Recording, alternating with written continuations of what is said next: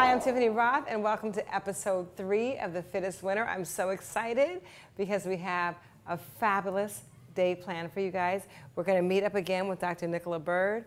We have this fabulous team with us, and we are in the incredible, historic Culver City Hotel, which is our home. So I just want to take a moment and say thank you to the Culver City Hotel for being such an amazing home of the fittest winner. Okay, we have completed week two. We're feeling awesome, really accomplished, and we also had our sessions with Dr. Nicola Bird. It was amazing. She's graciously here with us for the recap to help the girls kind of talk it through so that we can again kind of rehash with you guys what we went through. I want to hear what your experiences were like too on the app or on Facebook. Let me know how you enjoyed your experiences with Dr. Bird so that we can get her some more um, opportunities to help more people. Tell us about your session a little bit.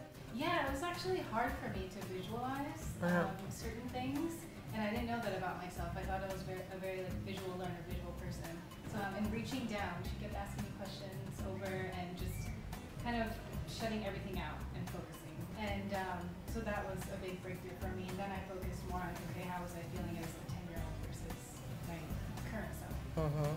Visualization is more about really connecting to what you're feeling. It's not so much about the visual, it's about really being able to connect your feeling. And when you're disconnected from your feeling, which is a typical pattern of people with emotional eating patterns, because you want to numb out, you want to not feel. So the whole goal is to really get you more connected to your feelings and more connected with yourself. Tell us more about what your emotional breakthrough was. What realization did you have about your emotional eating patterns and how did you change that? Realizing what triggers it for me And what is that? And that would be being at home, living with my family after not having lived with them since high school. What are the emotional triggers with living back home? Boredom, um, not having privacy, um, uh, not being like an independent adult. And then what does food give you?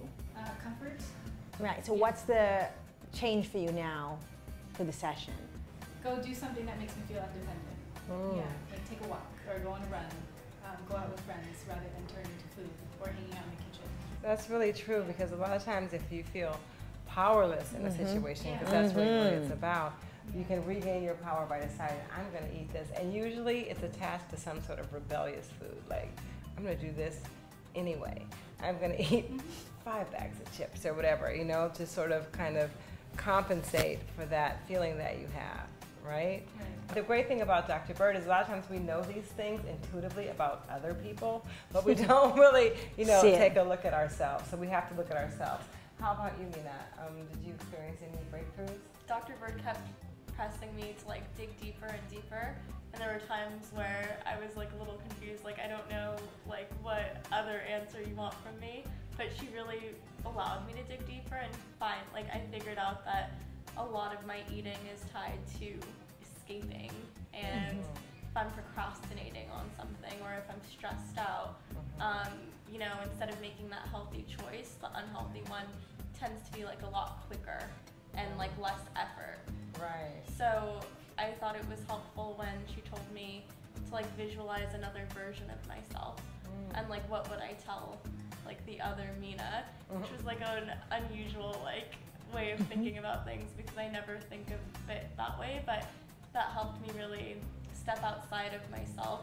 Sometimes like I'll work hard towards something, but then the follow through isn't there. Mm-hmm. Dr. Bird was telling me, you know, instead of saying like you need to try harder, how do you think that would make someone feel if you're saying you're not trying hard enough? If you're more encouraging and compassionate with yourself and understanding of that, it's easier to reach a goal. Like right away. I mean, we can think about this and talk about this, you know, ad nauseum, but you were able to identify Yeah. that what she thought was actually a reinforcement was tearing her down. Tearing her down. And also giving her the tools and the strategies to create that change. Right. Because we can be aware of something, but we really don't know how to change it. And that's where we get really stuck. What do I do? This is the change. This is the action I can take. These are what I can do to create that transformation, to break through that emotional eating pattern. This is why I'm encouraging you guys to really, really do the session because even having the awareness of what you're doing is the first step towards making a change. I definitely feel like I'm an all or nothing type of person, and kind of similar to Mina, right? But but it comes down to the fact that when I feel like I've already failed on something, then I'm just done trying. Mm-hmm. I just wash my hands of it. Mm-hmm. So, what change are you going to make now for yourself? Okay, I'm gonna use the language you gave me, which is that every little bit counts, and every little thing you say to yourself, you're actually hearing, whether or not you're thinking about it. Um, so me telling myself like, oh, you're you're a failure because you can't do this, or like you're a failure because you didn't keep your word this time, are, is not helping anything. But it's really just pushing me back a step. Never be frustrated by falling down. Get frustrated if you don't get back up. Because it's really in our biochemistry, that sort of trial and er- error, sort of feeling our way into things, and then keep going. This is how we survive. You know, things happen and we keep going. So having the tools and first recognizing that that's what you do. I eat because I love to eat. I eat because I don't have enough willpower. But as we went into the session, everyone discovered that it really wasn't about loving to eat. It's really about not handling the emotions or dealing with the emotions or even being aware of the way that you, your relationship, the relationship you have with yourself. If you have your poor relationship with yourself, like any poor relationship, it's Yeah. going to reflect in problems and issues and, and it's for you and all the, the viewers out there, emotional eating, putting on weight, getting into struggles like that.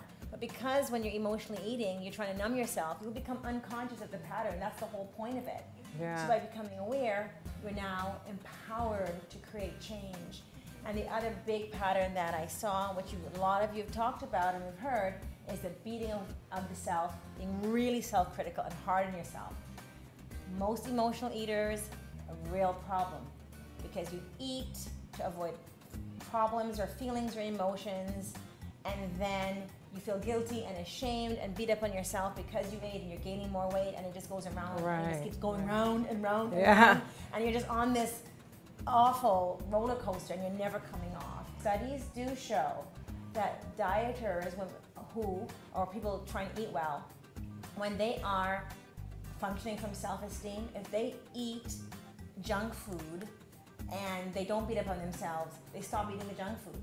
Those who eat junk food and beat up on themselves, they keep eating it mm. because they feel so bad about themselves, they keep eating. But the ones with self-esteem who don't feel bad, they don't need to keep eating to keep, you know, stuffing those emotions down. Every time I woke up and worked out this week, or when I've done it in the past too, I'm basically thinking in my head, I don't want to be in this place again. What place? What place? Where I've gotten so overweight and, and just out of shape, and I'm, I'm working out and I'm in pain and just really suffering right now. That I, I don't want to be in this place again. I shouldn't be in this place. And I've been thinking that every, like with every exercise that we've been doing in the morning, every step that I take, and it's so negative. negative, and I really didn't think of it that way, but you're, you're totally right. So I just want to, I'm beating myself up every step that I take during our Wow, workouts. wow. Even if you were your most fit, you would still need to be there working out. Mm-hmm. You never get to a point where, okay, I'm looking good, I don't have to work out anymore. You always have to work out. That place that you don't want to be in, of like growing and struggling and testing yourself, that's fitness. That's the place. That's the place where you can thrive. That's the place where you can get to know yourself. That's the place where you can step up, challenge yourself, and feel great at the end of every day. This is a celebration mm-hmm. of your capacity. So just change the script because this is not going to end. If I'm not here, when I'm not here, we're not in this challenge, you guys still need to get up and do your workouts every day. You still need to do your positive self talk. You still need to eat healthy. This does not have a destination, This is a lifestyle. it's a lifestyle. It never stops. The place is just a time and space. session with Dr. Bird was it was tough, but I did um, have a lot of breakthroughs. I realized that I was angry about a lot of things since that happened when I was young, being bullied, and that I go to food for comfort when I'm sad and angry. And you know, we have these emotions. I'm sure Dr. Bird has already told you that. You know, when they're unfamiliar emotions, you want to just Shut them down. And push them down. You know? So, you're talking about the breakthrough. what's the transformation? What's the strategy you're going to use now? Being positive for sure, number one. Being positive and just loving myself. And what are you going to do with all the emotions that you're having now? Just take a step back and relax, calm, be calm, breathe, and just know that I can own that, you know, that emotion. I, I can be um, powerful and, you know, own it not let it take over me, you know? One of the great things about um, having the tools to deal with emotional eating is that we have to eat. Okay? We have to eat. There's food all around us.